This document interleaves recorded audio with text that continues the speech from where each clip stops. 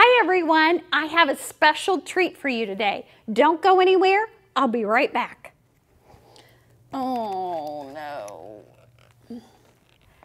Here's the special treat. What do you think? Yeah, I'm not sure what you thought when you saw this. Have you ever come to the dinner table and dinner just didn't look right? Maybe mom or dad forgot a key ingredient in their recipe to make it taste good. Um, maybe like my cake, it fell apart when they took it out of the pan or dropped it.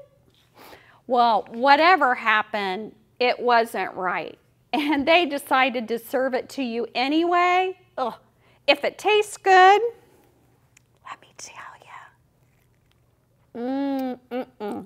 It's still good. If it tastes good, there's usually no harm done. Ugly food can still taste good. But sometimes things go so bad that we have no choice but to throw it out and start over. Moses was in the same position in our story today.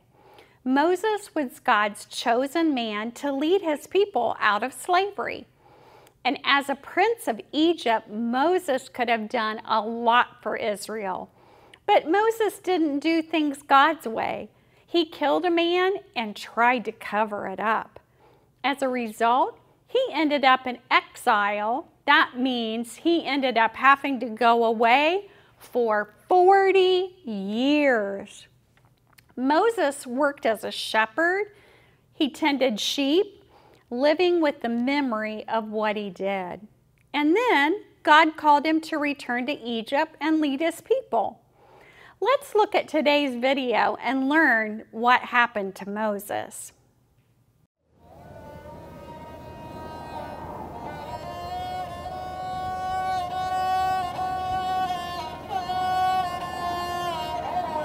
Moses was a very young child when he was taken from the care of his mother to live in the royal courts of Egypt.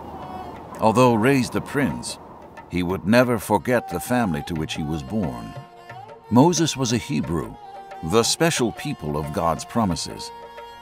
The faith of the Hebrews remained in Moses' heart even as he grew up surrounded with all the power, riches, and pleasures that Egypt had to offer. Forty years passed, and Moses grew from a boy into a man. But even though he was raised in the Egyptian way of trusting riches, horses, and chariots, God continued to draw Moses' thoughts away from Egypt and toward his fellow Hebrews. One day, he went out to see his people who were forced to work as slaves. The things he saw were terrible, including an Egyptian taskmaster beating a Hebrew slave. When Moses saw this, it broke his heart and filled him with anger. It was as if this man were attacking his own brother. Moses waited until he thought no one was watching. Then he charged toward the Egyptian, killed him, and buried his body in the sand. But as Moses would soon find out, someone had seen him, and word of his crime spread quickly. The next day, Moses went out to his people again, but this time he saw two Hebrews fighting with each other. In disbelief, he confronted them. Men, you are brothers. Why do you hurt each other in this way?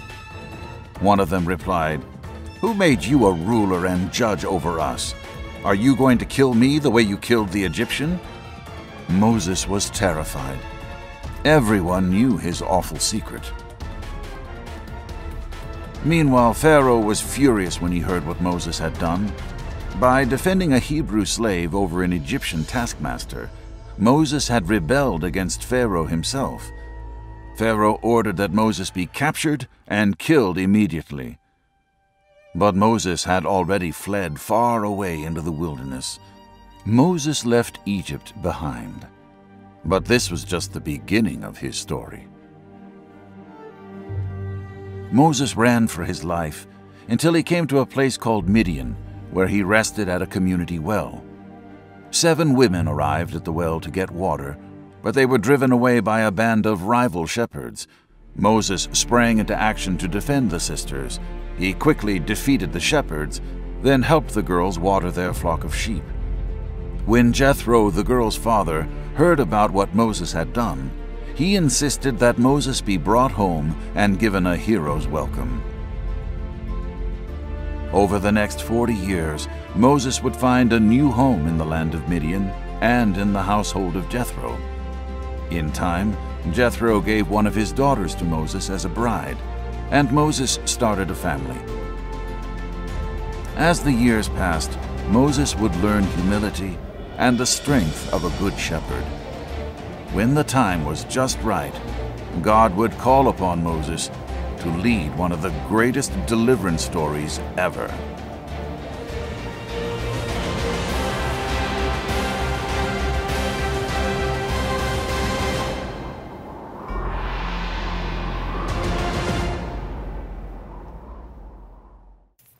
Moses didn't get to return as prince. He had to start over. He was an outsider to his people and to the people he once called his family. But Moses did things God's way this time, and he got to lead, the, the, lead Israel to freedom. When we get in trouble, the worst thing we can try to do is to cover it up. We need to admit our mistakes and accept the consequences. That means accept the punishment that we're going to get for having chosen to do something wrong even if that means starting over. God is willing to give us a second chance, but only if we're willing to go back to the beginning and do it His way. There are things happening in our world right now that people are doing that are wrong. They shouldn't try to cover it up, but they should admit their wrongs, accept their consequences, and allow God to help them be different. This week's game is Trouble. When you play the game Trouble the next time, remember the worst thing to do is cover up the wrong you've done. Don't forget to visit the website for the rest of the lesson, the activities and games, and have a great week.